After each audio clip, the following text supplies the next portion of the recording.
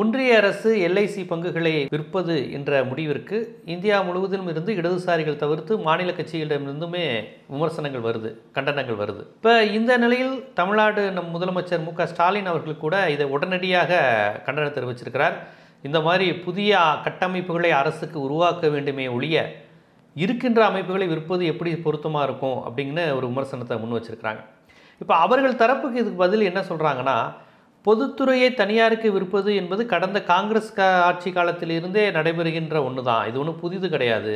ஆனால் பாஜக தான் இதை ஏதோ செய்வது போல் இவங்க தொடர்ச்சியாக விமர்சனம் பண்ணிக்கிட்டு இருக்கிறாங்க அப்படிங்கிற ஒரு அவங்க தரப்புலேருந்து இதுக்கு பதில் வினை புரிகிறாங்க நீங்கள் எப்படி பார்க்குறீங்க ரெண்டு அம்சங்கள். ஒன்று வந்து பொதுத்துறை நிறுவனங்களை தனியாருக்கு கொடுப்பதுன்னு இவங்க ஆரம்பிக்கிற போது என்ன மாதிரி பேசுகிறாங்க அப்படின்னா அதெல்லாம் நட்டத்தில் இருக்குது நிறைய வந்து தனியார் வங்கிகள் நட்டத்துல போகும்போது பொதுத்துறை நிறுவனங்கள்ல தனியார் வங்கிகள் மட்டும் இல்ல நிறுவனங்களும் கூட அது நட்டத்துல போகும்போது அரசு அதை எடுத்துக்கொண்டது. நீங்க இந்தியாவில் இருக்கக்கூடிய பெரும்பகுதி என்டிசி ஆலைகள் நேஷனல் டெக்ஸ்டைல் கார்பரேஷனுடைய ஆலைகள் பலவும் வந்து தனியார் முதலாளிகள் நடத்தி அது நட்டத்துல இயங்குனதுனால வேற வழி இல்லாம அந்த தொழிலை காப்பாற்றுவதற்காக தொழிலாளிகளை காப்பாற்றுவதற்காக பொருளாதார இயக்கத்தை சரி பண்றதுக்காக கொண்டு வந்ததுதான். அஹ், ஆனா நட்டத்துல விற்கிறது தான் இருக்கிறது தான் விற்க போறேன்னு சொன்னாங்க. ஆனா அடிப்படையில் எல்ஐசி அந்த மாதிரியான பிரச்சனை எதுவும் இல்லை. ஆரம்பத்தில் ஐந்து கோடி ரூபாய் மூலதனம் போட்டாங்க. அப்புறம் அதை ரெண்டாயிரத்தி பத்துல நூறு கோடி மூலதனமாக மாத்துறாங்க. இதுவரையிலும் டிவிடெண்டாக மட்டும் ஒன்றிய அரசுக்கு மூவாயிரத்தி அறநூறு கோடி ரூபாய் கொடுத்துருக்காங்க. அதே போல ஒன்றிய அரசினுடைய திட்டங்களுக்கு ஐந்தாண்டு திட்டங்களுக்கு ரெண்டாவது ஐந்தாண்டு திட்டத்திலிருந்து ஐந்து ஐந்தாண்டு திட்டம் கைவிடப்பட்ட இந்த ஐந்தாண்டு காலம் உட்பட நீங்க பாத்தீங்கன்னா ஐம்பத்தாறு லட்சம் கோடி ரூபாய் ஒன்றிய அரசுக்கு கொடுக்கப்பட்டிருக்கு. இது போல அதனுடைய ஒட்டுமொத்த மதிப்பு ஒரு முப்பத்தெட்டு லட்சம் கோடி ரூபாய் அசட் இருக்குன்னு சொல்றாங்க. சோ இவ்வளவு இருக்கிறத நீங்க இவ்வளவு விற்க அதுதான் அடிப்படையான கல்வி. நீங்க உங்களுக்கு என்ன தேவை? உங்களுக்கு நிதி தேவை. நிதி தேவைன்னா இதை தனியாற்ற கொடுத்துட்டீங்கன்னா ஒரு தடவை வரும். விவசாயி கூட விதை நெல்லை வைக்காமல் பட்டினி கிடந்தால் கூட விதை நெல்லை வச்சுட்டு தான் அவன் வந்து மீதி இருக்கிறத சமைச்சு சாப்பிடுவான். நீங்க ஏதோ பெரிய பொருளாதார வல்லுநர் நாங்க உலகம் முழுவதும் கேட்கறோம்லாம் நீங்க சொல்லிட்டு இருக்கீங்க. உங்களுக்கு ஒரு குறைந்தபட்ச அந்த ஞானம் வேண்டாமா? எல்ஐசி எந்த வகையில்? அதை விற்பதற்கு ஒரு நியாயம்னு நீங்க இதுவரை சொன்னீங்கல்ல. அந்த நியாயம் எதுவும் இல்லை. இப்ப என்னுடைய கேள்வி என்னன்னா இன்னொன்னு என்ன சொன்னாங்கன்னா நீங்க போட்டி இருந்தா நல்லா இருக்கும் அப்படின்னு சொன்னாங்க. போட்டியெல்லாம் வந்து ரொம்ப நாள் ஆச்சு. தனியார் இன்சூரன்ஸும் வந்துட்டாங்க. அதே போல அந்நிய இன்சூரன்ஸ் நிறுவனங்களும் வந்துட்டாங்க. அவங்க ஒன்றும் போட்டி போடலாம் முடியல. சரி நீங்க அமெரிக்கர்களுக்கு தைக்கிற சட்டையை எல்லாம் இந்தியர்களுக்கு பொறுத்துற மாதிரி நீங்க பண்ண முடியாது. எந்த தாட்சர் வந்து சொல்லி பொதுத்துறையை விற்பதற்கு இவங்க முயற்சி செய்தார்களோ அந்த அந்த நாட்டுல அந்த இங்கிலாந்துல ரயில்வே பொதுத்துறை ஆகிட்டாங்க நீங்க இப்ப வந்து அதை விற்க போறேன்னு சொல்லிட்டு இருக்கீங்க. எனவே அவர்கள் கடந்த காலத்தில் அதாவது கடந்த காலத்தில் விற்றார்கள். விற்பதற்கு ஒரு நியாயம் சொன்னார் நியாயம் அந்த நியாயம் நட்டத்தில் ஓடுவதற்கு நாங்க எது கொடுக்கணும் அப்படின்னு. நிர்மலா சீதாராமன் வந்த பிறகு மோடி வந்த பிறகு இத பத்தி எல்லாம் அவங்க கவலைப்படுறது இல்லை இப்ப சமீபத்துல கூட பேங்க தனியாருக்கு கொடுக்க போறோங்கிறதுக்கு ஒரு காரணம் சொன்னாங்க. நாங்க இதுவரை அது அது மூழ்காம இருக்கிறதுக்கு நாங்க கொடுத்திருக்கோம். மூணு லட்சம் கோடி ரூபாய் கொடுத்திருக்கோம் சொன்னாங்க. அது அப்பட்டமான மோசடி திசை திருப்பல் வேலை பொய்.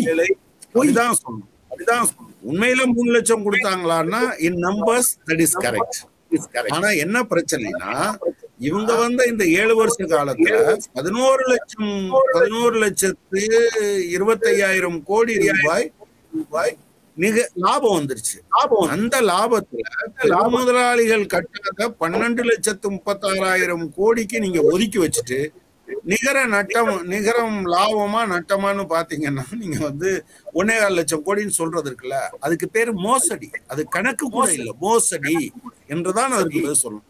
எனவே இவர்கள் பொதுத்துறையை விற்பது என்பது அவங்களுடைய ஐடியாலஜில இருந்து வர்ற விஷயமே தவிர அடிப்படையில் அதற்கான நியாயம் எதுவும் இல்லை என்பதால் நாம இதை வந்து எதிர்க்கிறாங்க எல்லாரும்.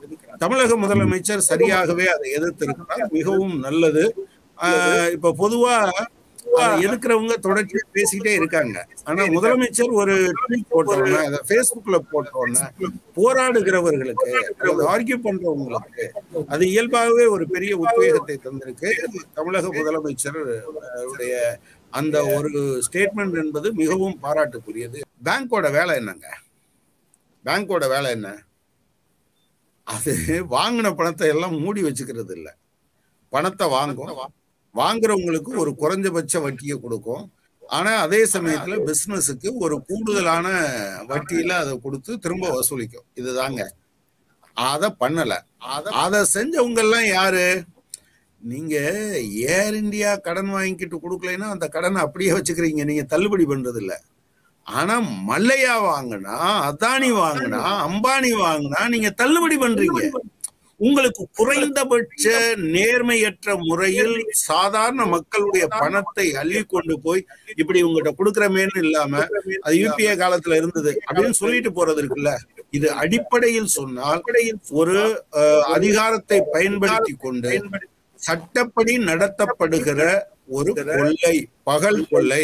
அதை நியாயப்படுத்துவதற்கு நிர்மலா சீதாராமன் சொல்றது. ஒரு பெருநிறுவனம் வரியே ஏமாத்தினா ஏமாத்தினா அதை எடுத்துட்டு வர்றதுக்கு அது ஸ்வீடன்ல இருந்தா அதை போய் நாங்க ஒரே நாள்ல அள்ளிட்டு வந்துருவோம்னு நம்ம ஊரு குருமூர்த்தி ஆஹ், அப்புறம் அந்த இந்தியன் இன்ஸ்டியூட் ஆஃப் சயின்ஸ்ல ஒருத்தர் இருந்தாரு ஒரு பேராசிரியர்.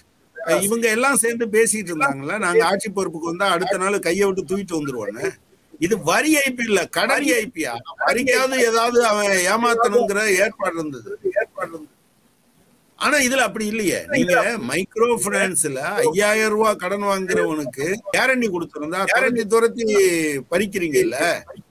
ஐயாயிரம் கோடி வாங்கிட்டு போனவன் பத்தாயிரம் கோடி வாங்கிட்டு போனவன் அப்படியே தூக்கி கொடுத்துட்டு தானே நீங்க உட்கார்ந்து இருக்கீங்க அதுக்கு நியாயம் சொல்றதுக்கு அதாவது அதை இப்படி நியாயப்படுத்தாமல் நான் ஒரு வாதத்துக்காக இப்படி வைக்கிறேன்.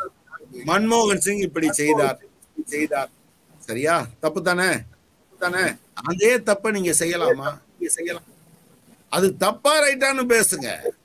அதை விட்டுட்டு மன்மோகன் சிங் செய்யும் போதெல்லாம் யாரும் கேட்கல. இப்ப ஏன் கேக்குறீங்க அப்படிங்கிறது இருக்குல்ல. அது வந்து என்னன்னா இது தப்பு தான் அவங்களும் செஞ்சாங்க நாங்களும் செஞ்சாங்கன்னு ஏத்துக்கிறது தானே தவிர அதை தவிர வேற ஒன்றும் கிடையாது.